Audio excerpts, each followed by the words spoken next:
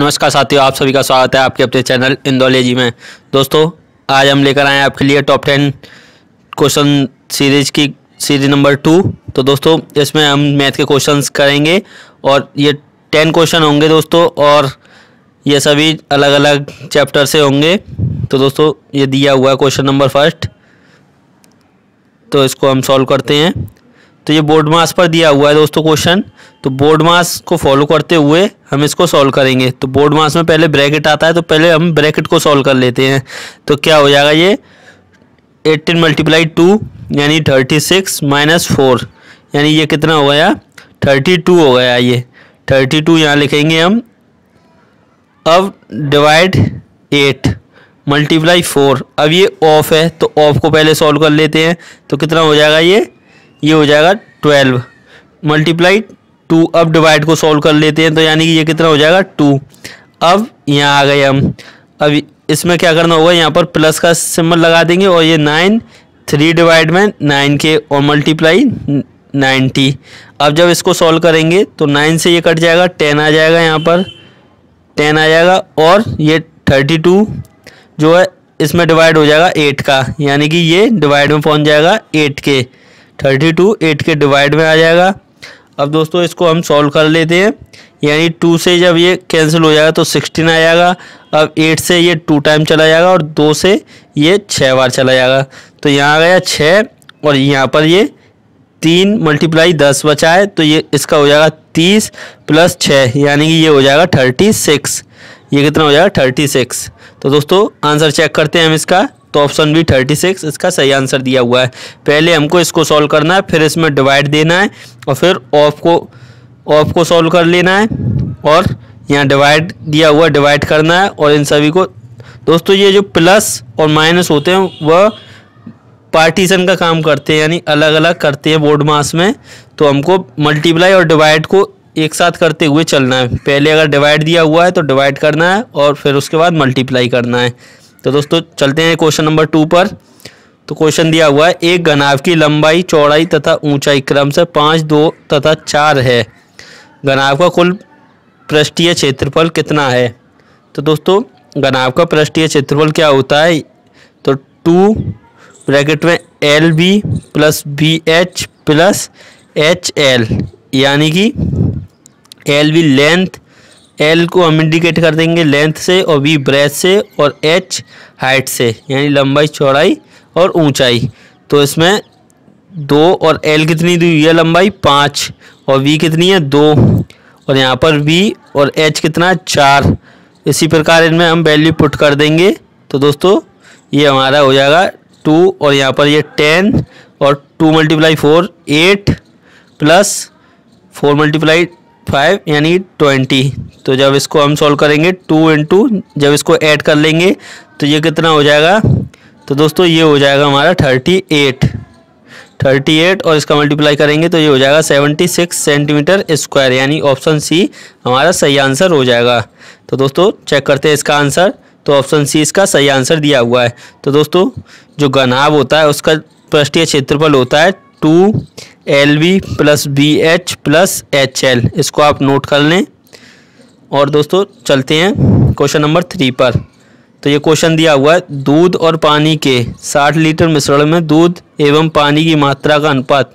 तीन अनुपात दो है। यदि हम दूध और पानी की मात्रा का अनुपात एक अनुपात एक करना चाहते हैं, तब मिश्रण में कितना पानी और मिलाया जाना चाहिए? तो दोस्तों, क्वेश्चन दिया हुआ है तो इसमें दूध और पानी, मिल्क और वाटर का रेशो कितना है? तीन अनुपात दो। तीन अनुपात दो दिया हुआ है और ये कह रहा है कि कितना पानी मिलाया जाए कि ये एक अनुपात एक हो जाए, एक अनुपात एक हो जाए। तो दोस्तों, मिश्रण की कितनी यूनिट हो गया ये तीन लीट तीन यूनिट दूध है और दो यूनिट पानी है, यानी कि पाँच यूनिट हो गया। लेकिन दिया कितना है? साठ लीटर। तो कितने गुना ज़्यादा हो जाएगा? बारह गुना ज़्यादा हो जाएगा। तो अब हमको दूध तो मिलाना नहीं है, पानी मिलाना है तो दूध की जो यूनिट है, वो तो सेम रहनी चाहिए। यहाँ पर तीन है, यहाँ पर एक है। तो इस एक को हम तीन बना सकते हैं आसानी से। तो कैसे बना सकते हैं? तीन का मल्टीप्लाई कर देंगे इसमें। जब तीन का मल्टीप्लाई कर देंगे तो ये तीन हो जाएगा और ये भी तीन हो जाएगा। अब, लेकिन पानी के अनुपात में कितना अंतर आ रहा है? एक एक यूनिट का। तो एक यूनिट का अंतर आ रहा है तो कितने गुना ज़्यादा हो जाएगा? यहाँ पर बारह गुना ज़्यादा है तो ये भी बारह गुना ज़्यादा हो जाएगा। यानी कि बारह लीटर पानी मिला दिया जाएगा। तो क्या हो जाएगा इसका आंसर बारह लीटर। तो दोस्तों चेक करते हैं इसका आंसर। तो ऑप्शन डी इसका सही आंसर दिया हुआ है बारह लीटर। तो दोस्तों क्वेश्चन नंबर फोर पर चलते हैं। तो क्वेश्चन दिया हुआ है, दिए गए आंकड़े का बहुलक कितना है? तो दोस्तों ये आंकड़ा दिया गया है, इसका बहुलक बताना है, यानी कि मॉड बताना है। इंग्लिश में कहते हैं मॉड। तो दोस्तों जिसकी ज़्यादा आवृत्ति होती है, जिस संख्या की ज़्यादा आवृत्ति होती है, वही हमारा बहुलक होता है। यानी जो संख्या जितनी बार, सबसे ज़्यादा बार आती है वही संख्या हमारी बहुलक होता है। तो जैसे कि हम पता करते हैं इसमें चार है तो चार कितनी बार आया? एक, दो, तीन, चार। तो चार आया, चार बार, चार आया, चार बार। अब तीन देखते हैं कितनी बार आया? एक, दो, तीन, चार, पाँच। तीन आया कितनी बार? पाँच बार। अब दो कितनी बार आया? एक, दो, तीन। तो दो आया हमारा तीन बार। अब पाँच, एक, दो। पाँच आया दो बार और छः आया एक बार। तो दोस्तों, सबसे ज़्यादा कौन आया? तीन। सबसे ज़्यादा कौन आया? तीन। तो इसका सही आंसर हो जाएगा ऑप्शन ए, तीन। इसका सही आंसर हो जाएगा। तो दोस्तों, हमारा जो बहुलक होगा, वो तीन होगा, क्योंकि तीन सबसे ज़्यादा बार आया है। तो चेक करते हैं इसका आंसर। तो दोस्तों, आंसर दिया हुआ है इसका ऑप्शन ए, तीन। तो दोस्तों, चलते हैं क्वेश्चन नंबर फाइव की ओर। तो क्वेश्चन दिया हुआ है ए बी और सी किसी कार्य को अलग अलग क्रम से पंद्रह, तीस और पचहत्तर दिनों में अकेले कर सकते हैं। उसी कार्य को तीनों एक साथ मिलकर पूरा कर। सोलह सौ पंद्रह प्राप्त करते हैं तो ए और सी को प्राप्त भागों में कितना अंतर है? तो दोस्तों, इनके काम के दिनों का अंतर दिया हुआ है। तो कितना दिया हुआ है इनका अनुपात? निकाल लेते हैं हम। तो दोस्तों, ये पंद्रह, ये तीस और ये पिछहत्तर दिन में करेगा। जब इनका अनुपात निकालेंगे तो कितना हो जाएगा? पंद्रह से इनको काट देंगे। तो दोस्तों, ये एक, दो और पाँच। अब जो इनकी क्षमता का अनुपात होगा, वो इनका उल्टा होगा, यानी एक और एक वट्टे दो और एक वट्टे पाँच। अब जो नीचे ये फ्रैक्शन में दिया हुआ है, यानी विन में तो दोस्तों इनको हम सिंपल बनाएँगे। तो क्या करते हैं हम सिंपल बनाने के लिए अनुपात को? नीचे वाली संख्या, उसका लासा ले लेंगे। तो दो और पाँच का लासा कितना हो जाएगा? दस। और दस का इसमें मल्टीप्लाई कर देंगे। इन तीनों में दस का मल्टीप्लाई कर देंगे। तो ये कितना हो जाएगा? तो दोस्तों ये इसका अनुपात हो जाएगा ये। ए अनुपात बी अनुपात सी हो जाएगा। दस अनुपात पाँच अनुपात दो। अब इनको हम जोड़ लेंगे तो ये कितना हो जाएगा? सत्रह। तो दोस्तों, जो जो हमारे पैसे होते हैं, जो हमारी मजदूरी होती है, वो हमारी क्षमता पर निर्भर करती है। यानी सत्रह बराबर कितने के हो जाएगा? सोलह सौ पंद्रह के। कितने गुना ज़्यादा हो जाएगा? पचानवे गुना ज़्यादा हो जाएगा। कितने गुना ज़्यादा हो जाएगा? पचानवे गुना ज़्यादा। अब दोस्तों, ये पूछ क्या रहा है? तो ये पूछ रहा है कि ए और सी को प्राप्त भागों में कितना अंतर है? तो ये कितना अंतर दिया हुआ है? ए और सी में तो ये दस है, ए और सी कितनी दी हुई है? दो। तो दोनों के बीच अंतर कितना हो जाएगा? आठ। आठ का अंतर हो जाएगा तो आठ कितने गुना ज़्यादा हो जाएगा? पचानवे गुना ज़्यादा। यानी आठ में पचानवे का गुना कर देंगे तो ये कितना हो जाएगा? सात सौ साठ। यानी ऑप्शन ए हमारा सही आंसर हो जाएगा। तो सात सौ साठ इसका सही आंसर हो जाएगा। तो दोस्तों चलते हैं, इसका आंसर चेक करते हैं। तो ऑप्शन ए इसका सही आंसर दिया हुआ है। तो दोस्तों जो हमारी मजदूरी होती है, बस वो क्षमता पर निर्भर करती है। तो अब चलते हैं क्वेश्चन नंबर सिक्स की ओर। तो क्वेश्चन नंबर सिक्स दिया हुआ है, चक्रवर्ती ब्याज वार्षिक संयोजित पर कोई निवेश की गई धनराशि पहले वर्ष के अंत पर 750 तथा दूसरे वर्ष के अंत पर 900 हो जाती है तो धनराशि कितनी है? तो दोस्तों, जो चक्रवर्ती ब्याज होती है, वो वर्ष के अंत पर जो ब्याज और मूलधन होता है, वह दोनों मिलकर मिश्रधन ही हमारा मूलधन बन जाता है अगली साल के लिए। तो इसमें पहले वर्ष के अंत में कितनी है? 750 तो जो अगली वर्ष के अंत के, अगली वर्ष के लिए सात सौ पचासी हमारी मूलधन होगी। तो 750 से कितनी हो गई? 900 750 से कितनी हो गई? 900 यानी कितनी ब्याज आ गई? डेढ़ सौ रुपये। यानी डेढ़ सौ रुपये ब्याज आ गई। तो इसका निकाल लेंगे हम कितने परसेंट की दर हो गई? तो दोस्तों, जब इसको सॉल्व करेंगे तो ये हो जाएगी 20 परसेंट की दर। यानी 20 परसेंट की दर हो जाएगी। यानी 20 परसेंट का रेट है। तो अब 20 परसेंट को हम लिखेंगे फ्रैक्शन में। तो ये कितना हो जाएगा? एक बट्टे पाँच। यानी पाँच रुपये पर एक रुपये की ब्याज। तो दोस्तों जो पाँच है, पाँच यूनिट है, वो हमारी धनराशि थी, जो मूल धनराशि थी, वो पाँच थी, उस पर एक रुपये की ब्याज मिल गई। यानी कि जब जोड़ लेंगे तो कितना हो जाएगा? छः तो यानी मूलधन जो मिश्र धन है, वो छः रुपये हो जाएगा छः यूनिट हो जाएगा, लेकिन यहाँ पर कितना है? सात सौ पचास। तो छः बराबर सात सौ पचास के, यानी कितने गुना ज़्यादा? एक सौ पच्चीस गुना ज़्यादा। तो जो मूल धनराशि है, वो भी एक सौ पच्चीस गुना ज़्यादा हो जाएगी तो कितनी हो जाएगी? छः सौ पच्चीस। मूल भी छः सौ पच्चीस हो जाएगी। तो ऑप्शन ए 625 हमारा सही आंसर हो जाएगा। तो दोस्तों चेक करते हैं इसका आंसर तो ऑप्शन ए 625 सही आंसर दिया हुआ है। तो चलते हैं क्वेश्चन नंबर सेवन की ओर। तो दोस्तों क्वेश्चन दिया हुआ है, किसी विद्यालय में डेढ़ सौ छात्र हैं। यदि लड़के तथा लड़कियों की संख्या का अनुपात चार, अनुपात एक है तो विद्यालय में लड़कों और लड़कियों की संख्या के बीच मध्य अनुपात कितना है? तो दोस्तों बॉयज़ और गर्ल्स का रेशो कितना दिया हुआ है? चार अनुपात एक। यानी कि दोनों को जोड़ लेंगे तो कितना हो जाएगा? पाँच। लेकिन कितना है? डेढ़ सौ। कितने गुना ज़्यादा हो जाएगा? तीस।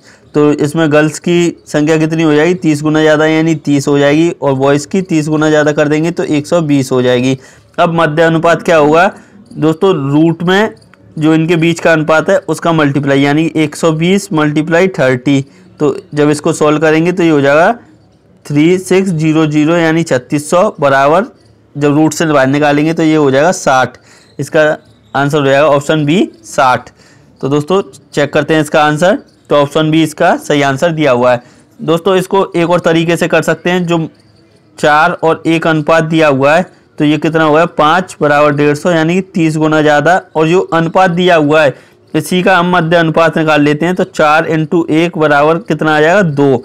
और दो में तीस का मल्टीप्लाई कर देंगे तो ये हो जाएगा हमारा साठ। हमको बॉयज़ और गर्ल्स की संख्या अलग से नहीं निकालने की ज़रूरत है। दोस्तों, बस यूँ ही हम निकाल लेंगे और ये हमारा सही आंसर हो जाएगा। तो चलते हैं क्वेश्चन नंबर एट की ओर। तो क्वेश्चन दिया हुआ है, ए किसी निश्चित दूरी को तीन भिन्न गतियों के साथ तय करता है? पहली तीन किलोमीटर की दूरी, नौ किलोमीटर प्रति घंटा की गति के साथ। दूसरी नौ छः किलोमीटर की दूरी, पंद्रह किलोमीटर प्रति घंटा की गति के साथ। और तीसरी नौ किलोमीटर की दूरी आठ अठारह किलोमीटर प्रति घंटा की गति के साथ तय करता है। एक ही पूरी यात्रा की औसत गति कितनी है? तो दोस्तों, पहले हमको इसमें टोटल टाइम निकाल लेना है। तो टोटल टाइम क्या होता है? डिस्टेंस अपॉन स्पीड यानी तीन बट्टे नौ और दूसरी जो चली है उसने दूरी, वो छः बट्टे पंद्रह और तीसरी के लिए नौ बट्टे अठारह और दोस्तों, इसको जब हम सॉल्व करेंगे, पहले इनको सिंपल कर लेते हैं तो ये हो जाएगा एक बट्टे तीन प्लस दो बट्टे पाँच प्लस एक बट्टे दो। अब इसका एल्शियम कितना हो जाएगा? तीस। और इसको जब सॉल्व करेंगे तो दस, और ये हो जाएगा बारह प्लस पंद्रह, यानी सैंतीस बट्टे तीस। हमारा टोटल टाइम आएगा सैंतीस बट्टे तीस। और दोस्तों, जो एवरेज स्पीड होती है, एवरेज स्पीड क्या होती है? वो होती है टोटल डिस्टेंस। इसको नोट कर लें, total distance upon, total distance upon total time total time. Total distance upon total time हमारी एवरेज स्पीड होती है। यानी टोटल डिस्टेंस कितनी हो गई? पहले चली उसने तीन किलोमीटर, फिर छः किलोमीटर और फिर नौ किलोमीटर। और टोटल टाइम कितना दिया हुआ है? सैंतीस बट्टे तीस। ये हमारा टोटल टाइम है। अब दोस्तों इनको जब ऐड करेंगे तो ये हो जाएगा अठारह बट्टे सैंतीस। और ये जो तीस है, ये ऊपर चला जाएगा मल्टीप्लाई में तो ये हो जाएगा पाँच सौ चालीस बट्टे सैंतीस, पाँच सौ चालीस बट्टे सैंतीस किलोमीटर प्रति घंटा। ये हमारा सही आंसर हो जाएगा। तो दोस्तों चेक करते हैं इसका आंसर। तो ऑप्शन बी पाँच सौ चालीस बट्टे सैंतीस, इसका सही आंसर दिया हुआ है। तो दोस्तों, चलते हैं क्वेश्चन नंबर नाइन की ओर। तो क्वेश्चन नंबर नाइन दिया हुआ है, छत्तीस छात्रों की औसत, छत्तीस छात्रों की समूह की औसत आयु तेईस वर्ष है। बाईस वर्ष की औसत आयु वाले चार छात्र समूह छोड़ देते हैं। नए समूह की औसत आयु वर्षों में एक दशमलव स्थान तक कितनी है? तो दोस्तों, इसको हम दो तरीके से करेंगे। तो पहले हम इसको करते हैं, यानी छत्तीस छात्रों की औसत आयु कितनी है? तेईस। तो छत्तीस गुणा तेईस कर लेंगे तो जो छत्तीस छात्र हैं, उनकी आयु का योग आ जाएगा। और माइनस कर देंगे इसमें से जो बाईस छात्र गए हैं, उनकी कुल आयु, यानी बाईस गुणा चार, बाईस वर्ष की औसत वाले चार छात्र गए हैं तो बाईस गुणा चार कर देंगे, और अब रह कितने गए? यानी बत्तीस में से चार चले गए तो कितने? छत्तीस में से चार चले गए तो बत्तीस बचे। अब इसको जब हम सॉल्व करेंगे तो ये हो जाएगा आठ सौ अट्ठाईस minus eighty eight upon thirty two, यानी सात सौ चालीस बट्टे बत्तीस। सात सौ चालीस बट्टे बत्तीस जब इसको सॉल्व करेंगे तो ये हो जाएगा तेईस पॉइंट एक। तेईस पॉइंट एक हमारा सही आंसर हो जाएगा। तो दोस्तों, अब इसको दूसरे तरीके से करके देखते हैं। तो दोस्तों, इसको दूसरे तरीके से करेंगे हम, यानी तेईस वर्ष थी औसत आयु और 22 वर्ष के चार छात्र चले गए, यानी कि चार वर्ष अपनी छोड़ गए, यानी बत्तीस लोग रह गए यहाँ पर तो बत्तीस लोगों में चार वर्ष, यानी कि और ऐड हो जाएगी। तो इसमें चार का डिवाइड चार में डिवाइड कर देंगे थर्टी टू का, यानी ये कितना हो जाएगा, एक बट्टे आठ। तो ज़ीरो पॉइंट वन हो जाएगी। और तेईस वर्ष तो औसत आयु पहले ही थी और एक एक वर्ष और, यानी चार वर्ष और इसमें ऐड हो गई। तो औसत हमारा ज़ीरो पॉइंट एक आ गया, यानी ज़ीरो पॉइंट एक जो बत्तीस छात्र बचे हैं, उनके हिस्से में आ जाएगा, यानी कि तेईस में ये ऐड हो जाएगा। तो तेईस पॉइंट एक हमारा आंसर हो जाएगा, यानी कि ऑप्शन तीन। तो दोस्तों, अब चलते हैं क्वेश्चन नंबर टेन की ओर। तो क्वेश्चन नंबर टेन दिया हुआ है, किसी वस्तु की अंकित मूल्य तथा विक्रय मूल्य का अनुपात बारह अनुपात सात है तो छूट प्रतिशत निकालिए। तो दोस्तों, जो छूट प्रतिशत निकालते हैं, वह हम मार्क प्राइस और सेलिंग प्राइस पर निकालते हैं, यानी मार्क प्राइस अंकित मूल्य और विक्रय मूल्य पर निकालते हैं। तो मार्क प्राइस कितना दिया हुआ है? बारह और सेलिंग प्राइस सात। इन दोनों के बीच कितनी की छूट है? पाँच की। तो दोस्तों, इसमें प्रतिशत पूछा है तो छूट यानी कि पाँच और कितने पर? बारह पर। यानी कि discount upon mark price into hundred ये हमारी छूट परसेंट आ जाएगी। तो जब इसको हम सॉल्व करेंगे तो ये हो जाएगा इकतालीस पॉइंट छः सात। इकतालीस पॉइंट छः सात यानी ऑप्शन डी इसका सही आंसर हो जाएगा। तो दोस्तों चेक करते हैं इसका आंसर तो ऑप्शन डी इसका सही आंसर दिया हुआ है। तो दोस्तों ये थे आज के टॉप टेन क्वेश्चन तो वीडियो कैसी लगी कमेंट करके बताएँ और ज़्यादा से ज़्यादा शेयर करें। और दोस्तों चैनल को सब्सक्राइब ज़रूर कर लें। ऐसे डेली आपके लिए टॉप टेन क्वेश्चंस की सीरीज़ आती रहेगी। तो आप डेली वीडियो देखते रहें। Thank you all the best